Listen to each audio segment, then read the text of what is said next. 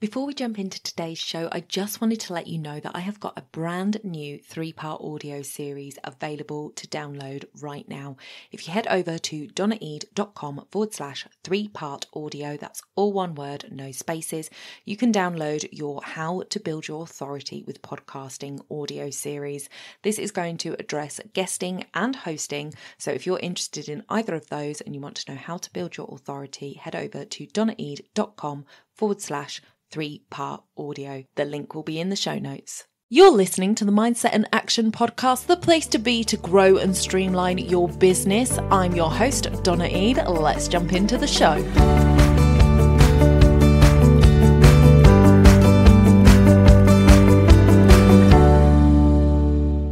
Productivity is never an accident. It is always the result of a commitment to excellence, intelligent planning, and focused effort. Paul J. Meyer. Welcome back to the podcast, everyone. Oh, I'm always so excited to introduce you to somebody new. And today I have Jo with me. Jo, welcome to the podcast. Thank you. Really excited to be here. I think you're actually my second Joe on the podcast. So you better let people know exactly who you are and what it is that you do so we can differentiate you. Good plan. Okay, so I'm Jo Cowper and I'm a brand strategy coach. Um, I have a business called Six Degrees East, which is named after the place where I live, which is the French Alps, which happens to be at six degrees east in the mountains. Lovely. And I support business owners to build a marketing plan that they actually will enjoy to stick to. Fabulous. Now, if anybody's listening, which I know they will be, they'll be going, hang on a minute, French Alps, that was not a French Alps accent. How did you end up in the French Alps and where did you hail from originally? like well, we need to guess. I'll give you the give you the potted story here. Um, living actually being in the French Alps is effectively uh, that's me kind of walking the walk, if you like, because what I believe is that as a business owner, the point, like one of the biggest things you want to get out of your business is the opportunity to live life the way you want it, on your terms, in your way, in your place. And for me, that was the French Alps. Fortunately, my partner agreed, otherwise, that could have been problematic. Could have been. so, um, five years ago, after I'd had my business up and running for a couple of years, and we realized that we had the opportunity to actually work from anywhere. And so we sold the house and uh, took the kids out of school and moved to the French Alps and have been here ever since. Lovely. I moved here from Scotland. I'm not actually Scottish, but there was a bit of a there's been a bit of dotting about in between in between. So let's say I moved from Scotland to the Alps. We'll go with that. Lovely. Lovely. I love it. And that is totally walking the walk. And I think a lot of us dream about that kind of I think a lot of uh, social media kind of shows this sort of nomad way of life of you can work from anywhere. Um, and I don't necessarily fall into that category of wanting that. I feel like if I'm on holiday, I want to be on holiday and I want to be present and enjoying it, not working on my laptop where it seems like nomads just never go on holiday. They're just in different places working. And that doesn't sound like fun to me. So I much prefer the idea of going somewhere that I want to live and working from there and then still going on holiday. yes, although we're a bit stuck now on where to go on holiday because this was where we always used to want to go on holiday. I think, oh, we're here already. I love great. that. Which is great. Oh, it's great if you can, uh, if you, as long as you can actually step away from work. And I think that's a boundary that sometimes people can't can't do when they're at home like you know for me even working from home the housework still calls my name while i'm in the office you know? I'm just like oh well i'll just put this load of washing on in between like calls or whatever. And it's like you're not supposed to be doing that. You're supposed to be working. Or you know if we take time off work um, my other half works for a college. So if he's got his holiday but we're not actually going anywhere the amount of times I'll end up here in here doing work and it's just like no I'm supposed to be on holiday with him. Just stop put it down. It's it's quite a barrier but I guess if you can strap on your skis and get on a slope it's pretty easy to switch off.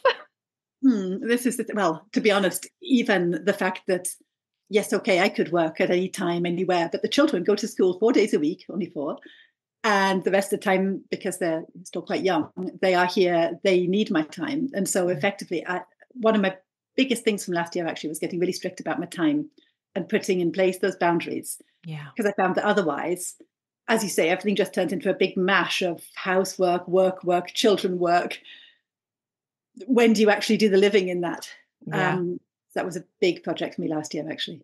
Yeah, yeah, I can I can see it. And I think having young children can often help with that because you do you, the mum guilt sometimes is a, is a blessing because it's like hang on a minute no i have got to put my children first in this situation so yeah. i love yeah. that you have put that boundary in place and been able to stick to it um, talking about social media and that nomad way of life seeing, when it comes to marketing, we're kind of told that social media is the place that we need to be and we need to be there. Our brand needs to be there to sort of shine out and we need to post at least once a day and you should be posting on your stories multiple times a day. And and I connected with you first at a networking meeting where you turned around and said marketing is about doing less not more. And so I'm hoping that you can tell us that there's a different way to do our marketing.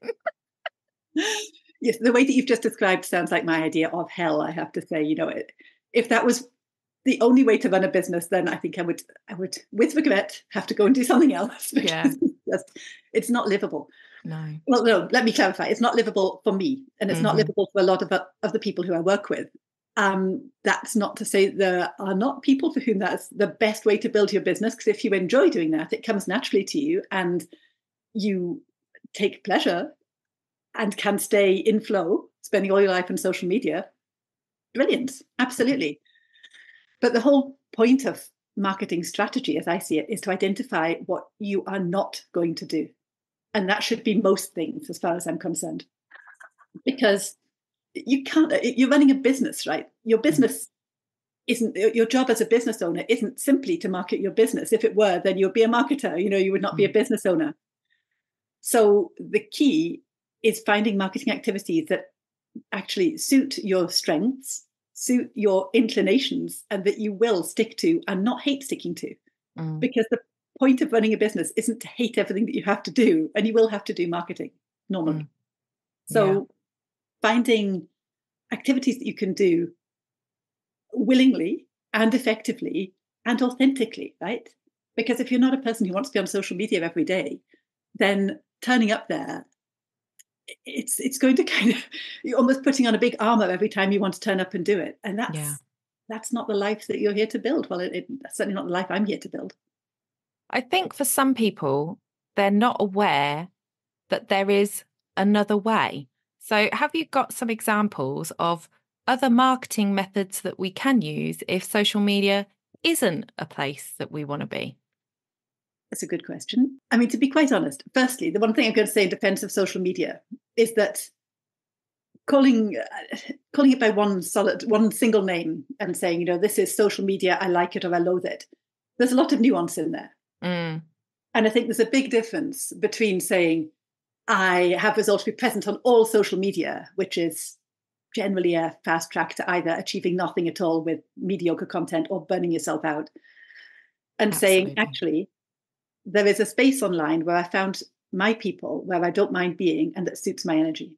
Mm-hmm. And I would certainly suggest that in, in most cases, it's worth finding the space where your clients are and where you are happy to be and making that part of your strategy. Now, to, to, com- to not completely sidestep your question, if social media really isn't for you, and you know there will be people who just you know, it's not their thing, and nor is it appropriate for them to be on social media, then of course you know, there's still plenty of offline marketing, for example.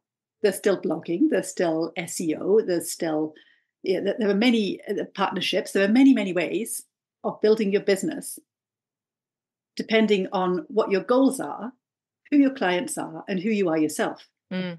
But it has to be an intersection of those three things. I mean, I would be lying if I said you could achieve any given goal with any given client without using social media. But as a business owner, we get to make a choice, right? We get to decide what matters most. So we can decide, well, actually, what matters most to me is that I will never set foot or set uh, set set mind space in social media. But in that case, you may need to adjust what it is that you want to achieve. Yeah, yeah, absolutely. And there are plenty of other ways to um, market your business, but it's what you were saying earlier. It's part of your social media is part of your strategy. It's not your entire strategy. no, it doesn't have to be. Well, it mm. doesn't have to be equally. If you want it to be, mm. it's okay. You know, the important thing when you're building your marketing strategy is not to look out and say, what are all the things I could possibly do? What is everybody else doing? Because I need to do all those things. The important thing is to start, hold your nerve and start by looking in yeah. before you go looking out. And so you look in and you really tune in, first of all, to where am I going with this? You know, what what do I actually want to achieve? What do I want my life to look like? You know, mm. if it is the, if some part of your plan is that you want to be a a talking head, a well-known influencer, then social media is probably going to have to be your friend, you know? Whereas if you want to be working away invisibly in the background, achieving great things, but you know, completely beneath the radar, then it might be that perhaps a networking strategy, perhaps a, a partnership strategy, perhaps a search strategy would be better suited to what you want to achieve. Yeah. Um, it's important to think about what you want your life to look like think about who you therefore want to serve in terms of who your clients are going to be. And that will be partly defined by where you want to be in your life, right? It's not just who could benefit from what you do, but who would it suit you to help? Yes. So coming back to your social media thing, if you could help anybody, but it suits you best to help people who are not on social media, you know, there's um there are options. yeah, because there are still people that aren't on social media. Although there are billions and billions of people on social media, there are still people, and, and those poor people get completely forgotten. Mm, for sure. For sure. I mean, there are whole swathes of the population who are either not on it or not on it regularly enough to to be to be receptive to new things. I guess. Yeah. You know, there, there yeah, that's my partner he's, he's got social media platforms. He's had the same profile picture since before we were together. He has never ever once changed his profile picture to a picture of me and him. So I refuse to have one of me and him as my profile picture. but yeah, he's he's he's just not on it. He was there. He used it for the purpose of finding salsa congresses and uh, salsa lessons and things like that um, to be part of that dance world. Um, he just logged in to find that information and logged out again. He never really posted, never hasn't posted it. I can't, can't even remember the last time he ever opened the app. The only time he opens the app actually is because I put him as the admin on my groups and stuff. So if I get locked out of my group or you know something happens, he might log in for that purpose. But otherwise, it's just mm. sitting there dormant. So yeah, there is definitely people that are on social but aren't actually on social.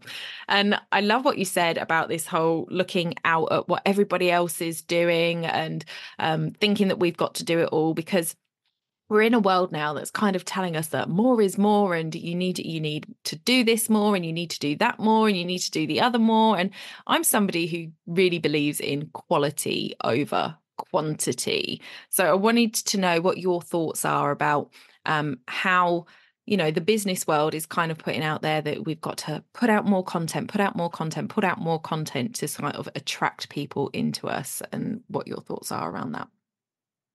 I think um i think less is more first of all. Mm. i think less is more in terms of uh, yeah i'm completely with you quality is better than just noise. There's enough noise okay we don't need to be there creating anymore both out of kindness to the people who may be on the receiving end of the noise and to ourselves because it's when you're running a business, you want what you're doing to feel purposeful. And if you are knowingly just churning out high volumes of things that don't feel authentic, don't feel good, and perhaps don't get great results, surely you're better spending your time on finding focus first. And so the way that I see it, now, I don't think there's anybody out there, and I, I could be wrong, but I don't think there's anybody out there who's going to say, you really don't need to think about your ideal client. You don't need to think about your brand. You don't need to think about your competitive difference. There's surely nobody who's going to say this outright. But there are degrees. Okay. And, and the way that I see it, you could imagine almost a scale that can tip. And so you pay lip service to that initial work of figuring out who you are, where you are, who you're for, and where you're going. And then you just start blasting stuff out into the world, thinking, well, tick, I did that bit now I need to do marketing. What am I going to do? Oh God, I need to do everything. I need to do so much. I need to be really present. I'm not getting any result. Bam, bam, bam, bam, bam. Or the alternative, you can spend real time and energy immersing yourself in figuring out who you are, who you're for, what you stand for, mm. and then be just much more balanced, much more uh, controlled and focused mm. in how you are going to spend that time. And so, you know, I'm not going to say to you, if you get your brand right, you'll never need to do marketing again. It would be a lie. I mean, I have I've seen this lie put about there, but it's simply not true. I mean, unless unless you are already, uh, I don't know where. I'm trying to think of a celebrity, but basically, unless you are already mega, mega famous, that's not going to happen.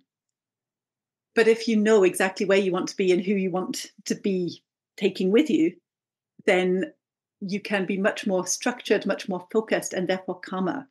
And mm-hmm. I kind of think of this as being this this balance. I had a great conversation about this with somebody yesterday.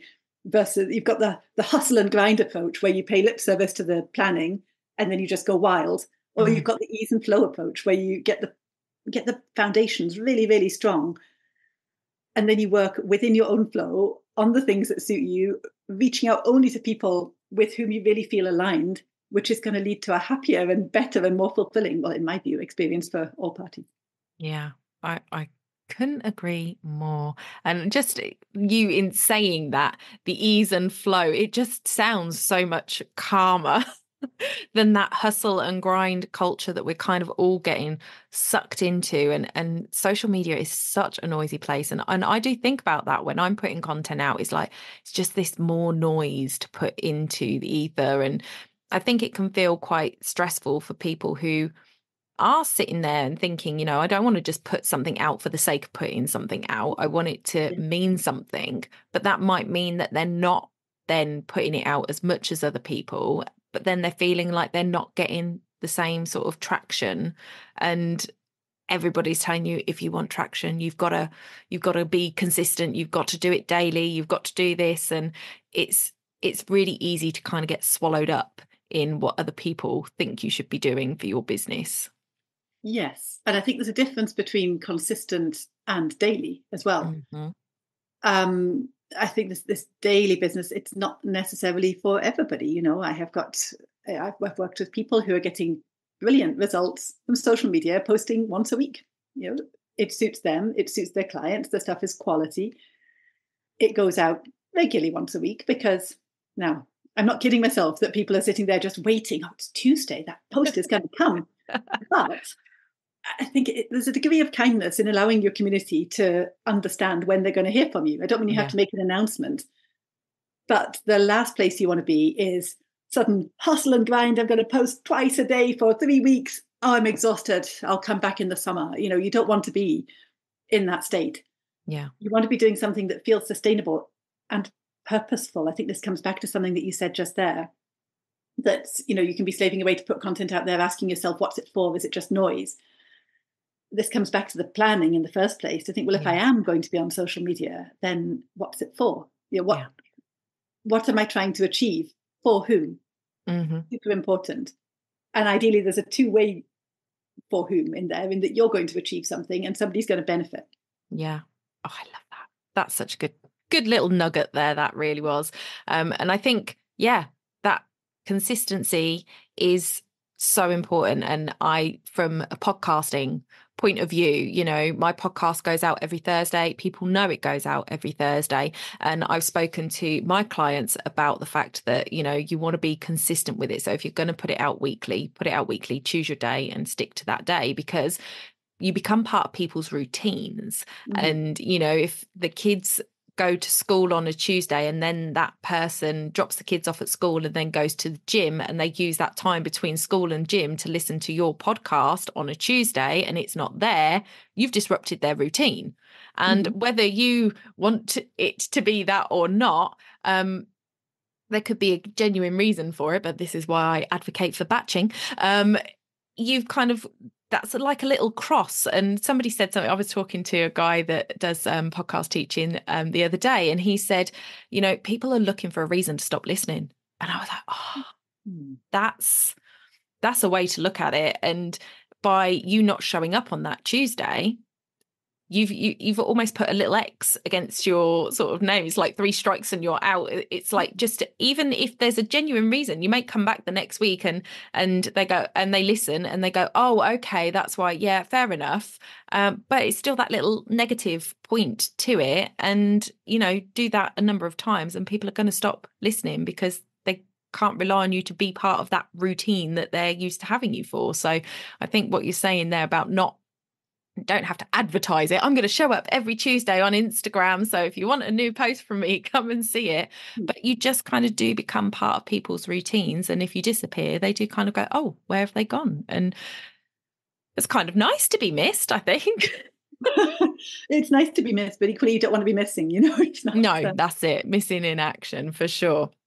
Okay. Yeah. So we're kind of hopefully convinced people now that um they don't have to be churning out all the time and that they can actually stop step back from this refocus and and look at what the purpose is for what they're sharing.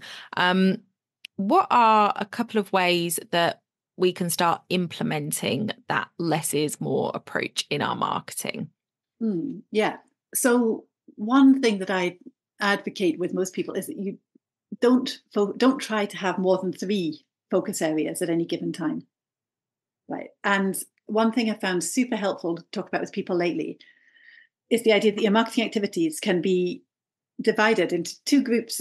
Like you've got the activities that transform the way that your brand is and the way that you're seen and the way that perhaps they, they transform your development, your performance, your business, and the activities that maintain where you are in the mind of the, the people who see you, the people mm. who need to see you.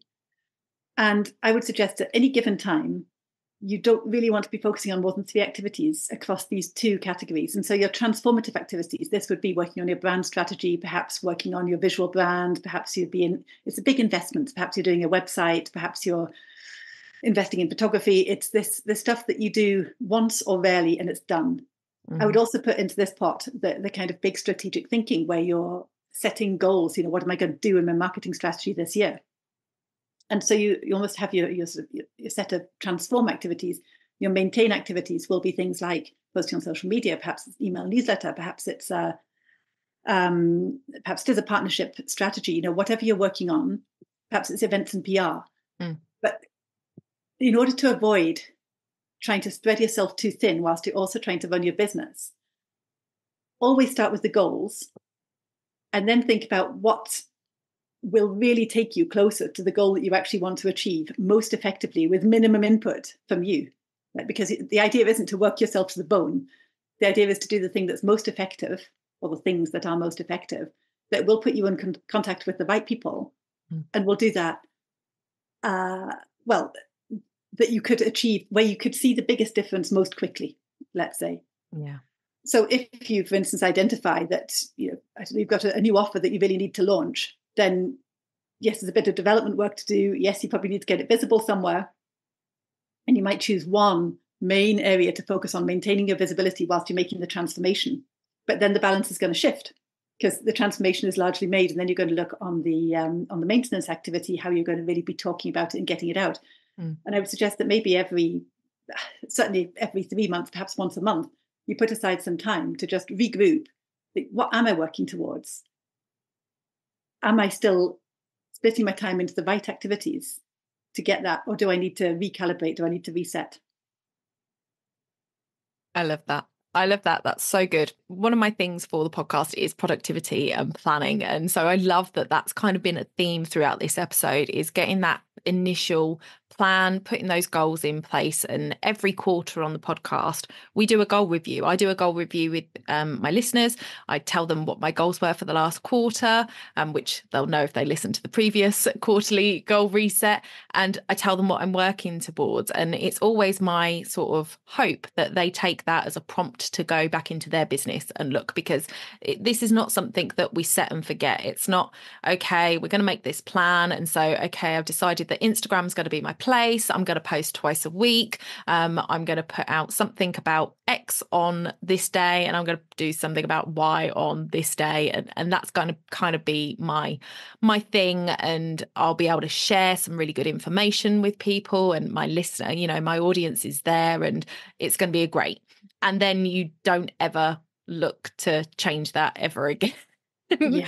by coming back yeah. quarterly you get to review okay is that actually working? Is that is it doing what i thought it was going to do? Am i getting the results? Is it worth my time? And i i always kind of say that whenever you start to do something new give it three months um, of working on it to see what kind of results you're getting from it because it, we can all so easily give up when we're like i put a post out and nobody commented on it and so it's not working. I'm not going to do anymore but these platforms do have algorithms it does take time to get traction and uh, yeah i kind of think three months is a good good point to sort of review those things so i like that it's all kind of coming back to planning no, I, think that's right. And I think that balance that you talked about is so important. The fact that you've got to give a thing a fair chance. Mm. But it's so important to go in and course correct because one of the things I see happen that, that contributes, I think, to a lot to marketing overwhelm mm. Is the point where it becomes an activity, like a thing that you have to. The thing it always brings to mind is the way that I used to do ironing when I still did ironing, which is mm. uh, a day way back in the different. Yeah, me too. Yeah, but each item would pass across the ironing board from one side to the other. Mm. Would all the creases be gone? Probably not. You know, would they come out perfect? No, but each thing had undergone the process and then moved to the other side. Mm-hmm. It was not an effective process, right? It it was not necessarily a valuable use of my time because the things were they looking crisp and beautiful? No. Will it take mm. me a mm. couple of hours? Probably yes.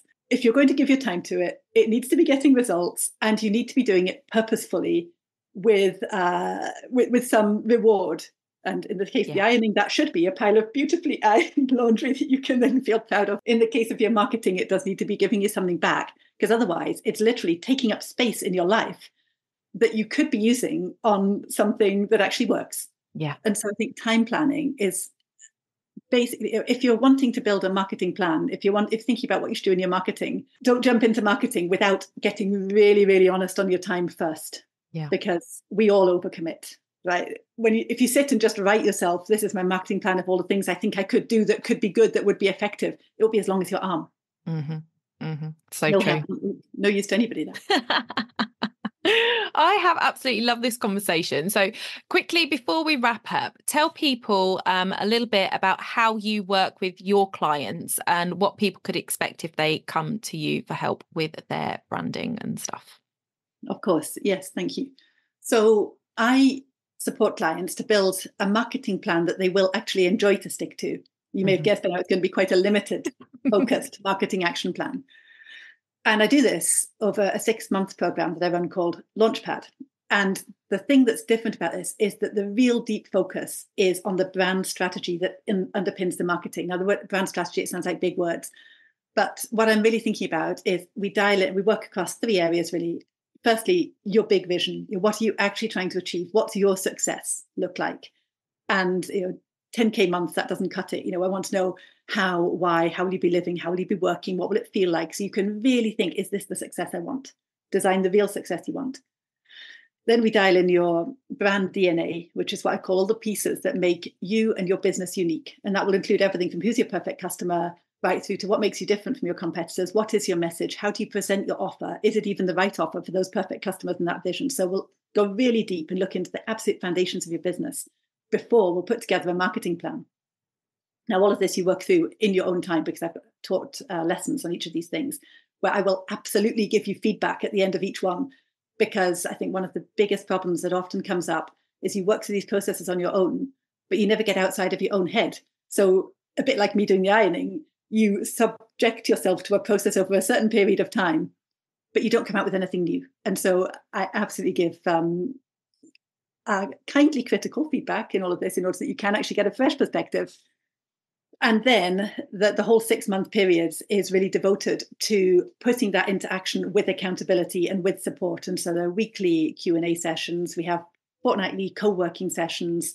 Um, there is an online community, and so the whole thing is designed to make you to allow you let's not say we're going to make you to, to help you to, um, to figure out exactly what would be the things that feel right to you what's marketing activity that feels meaningful and that you know based on the, the insight that you've gathered you know is going to work but then to support you to actually blim and well do it mm. because having clarity is all very well and good but if you don't act on the clarity then you might as well not have bothered. And, and yeah. that's, that's exactly why I work with people over six months, because I think it literally does take that long to build the habit that's then going to allow you to go on and continue to adhere to building the business that you want.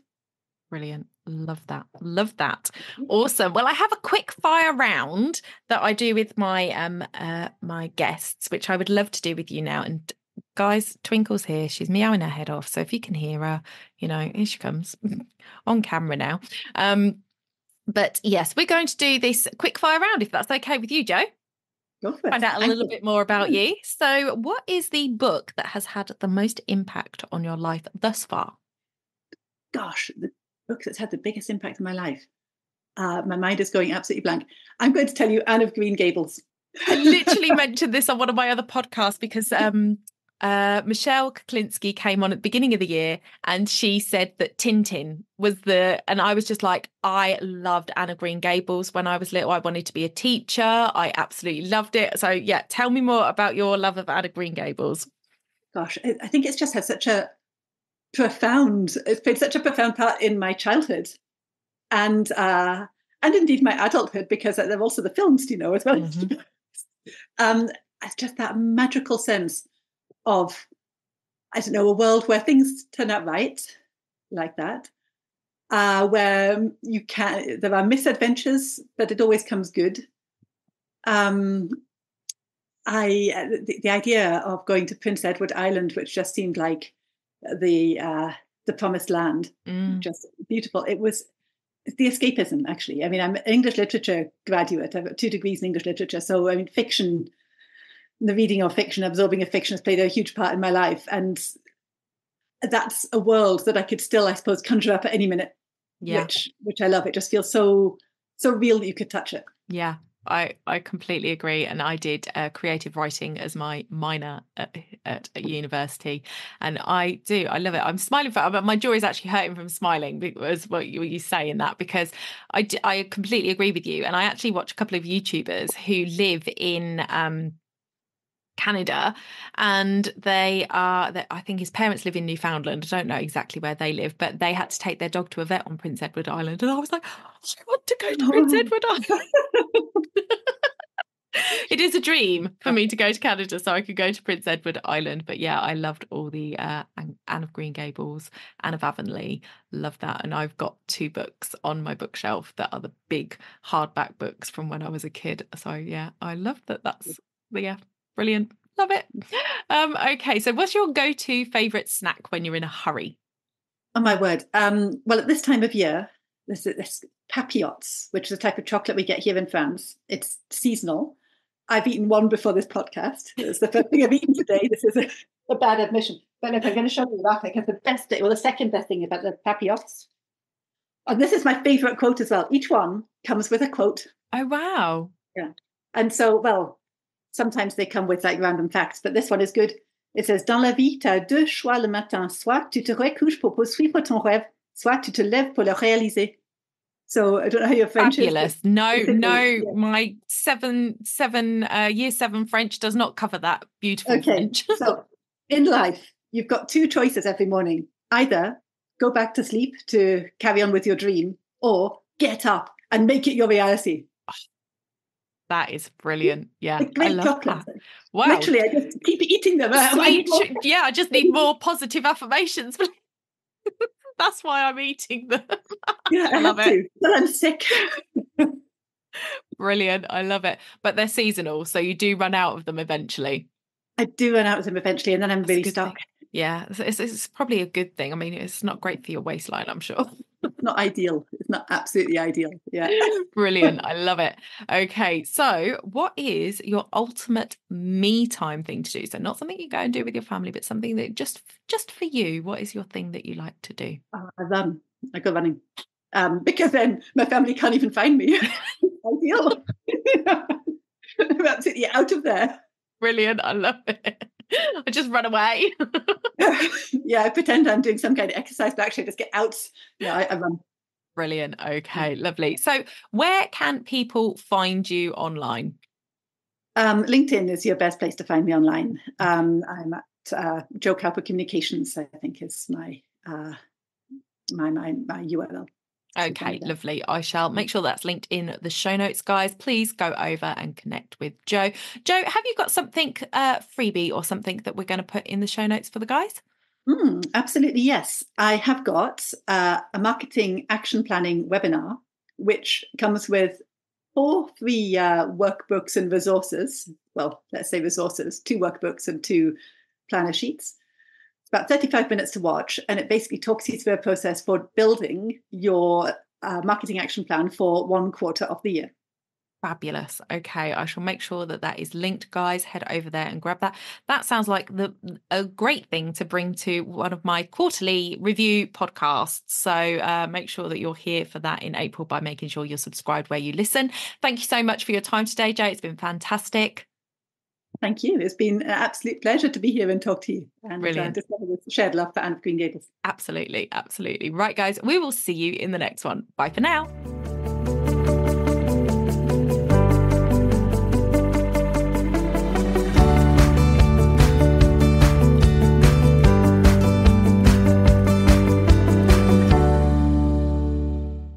If you're looking to build a deeper connection with your audience this year and you're a passionate business owner with a message to share, then I would love to help you do that via podcasting. If you're interested in starting a podcast this year, head over to donnaeade.com forward slash apply to register your interest today.